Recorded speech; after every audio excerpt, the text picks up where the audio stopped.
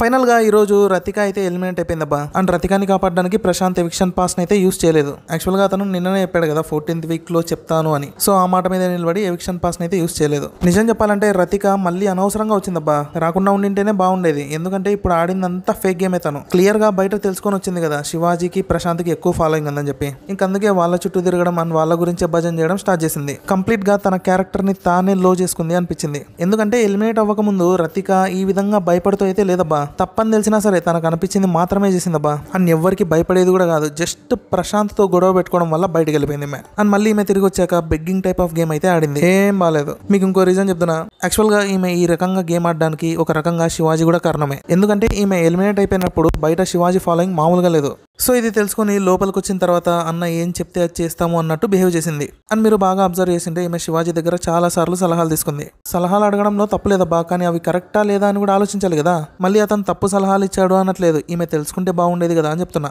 ఒకటి చెప్పండి సింపతితో వచ్చిన వాళ్ళనైనా గెలిపిస్తారు కానీ పిరికి వాళ్ళని గెలిపిస్తారా? అసలు సపోర్ట్ కూడా చేయరు. అదే జరిగింది ఇక్కడ. అండ్ ఈమె ఇంత దూరం రావడమే చాలా గొప్ప విషయం అని చెప్పొచ్చు. Okay okay. Bye bye Rathika take care highlight ఏంటంటే ఇప్పుడు హౌస్లో ఇద్దరు అమ్మాయిలు మాత్రమే ఉన్నారు. శోభ అండ్ ప్రియాంక. సో వీళ్ళిద్దరిలోనే ఎవరో ఒకరు ఎలిమినేట్ అయ్యే ఛాన్స్ అయితే ఉంది. ఎందుకు ఇలా చెప్తున్నానంటే పబ్లిక్లో వీళ్ళకున్న ఇమేజ్ అలాంటిది మరి. ఆల్రెడీ పోస్ట్స్ మీమ్స్ చాలా వచ్చేసాయి. నెక్స్ట్ నువ్వే శోభ నెక్స్ట్ నువ్వే ప్రియాంక అంటూ చాలా అయితే ట్రోల్స్ వచ్చాయి. అండ్ వీళ్ళిద్దరిలో కూడా ఎక్కువ ఛాన్స్ ఎలిమినేట్ అవ్వడానికి శోభాకే ఉంది. యాక్చువల్గా ఈ టూ త్రీ వీక్స్ వీళ్ళిద్దరు బాగానే ఆడారు. కానీ ముందు జరిగిన వీక్స్లోనే కొంచెం ఓవర్గా ఉన్నారు అన్నట్టు అనిపించింది. సో ఇంకా ఆడియన్స్ వీళ్ళ మీద పగబట్టారు. చాలా మంది బిగ్ బాస్ శోభాని కావాలని సేవ్ చేస్తున్నాడు అంటున్నారు. నిజమో అబద్ధమో తెలియదు కానీ ఆ టైంలో కొంతవరకు అలాగే అనిపించింది అబ్బా యాక్చువల్గా శోభ త్రీ ఫోర్ వీక్స్ ముందే ఎలిమినేట్ అవుతుంది అనుకున్నారు. అండ్ ఇదంతా ఎలా చెప్తున్నారంటే అన్అఫిషియల్ ఓటింగ్ పోల్స్ ఉంటాయి కదా వాటిని చూసి మాత్రమే చెప్తున్నారు వీళ్ళంతా. అండ్ నేను చెప్పేది ఏంటంటే వాటిని మాక్సిమం నమ్మకూడదబ్బా. కొంచెం వరకే నమ్మచ్చు అంతే. ఎందుకంటే చాలా మంది జస్ట్ ఓట్స్ నే లెక్క చేస్తున్నారు కానీ మిస్డ్ కాల్స్ అనేది ఒకటి ఉంది కదా ఆ మిస్డ్ కాల్స్ ఇచ్చి కూడా చాలా మంది ఓట్స్ వేస్తారు. సో అక్కడ మీ క్యాల్కులేషన్ అనేది రాంగ్ అయిపోతుంది. నాకు తెలిసి బిగ్ బాస్ కావాలని ఎలిమినేట్ అవ్వకుండా సేవ్ అయితే చేయరబ్బా. ఈ విధంగా చూస్తే శోభా కంటే రతిక ఎక్కువ కంటెంట్ ఇచ్చేది ముందు. ఐ మీన్ ప్రశాంత్తో శివాజీతో అందరితో గొడవ పడేది కదా. కానీ తొందరగానే ఎలిమినేట్ అయిపోయింది. ఎందుకు ఎలిమినేట్ చేయాలబ్బా బిగ్ బాస్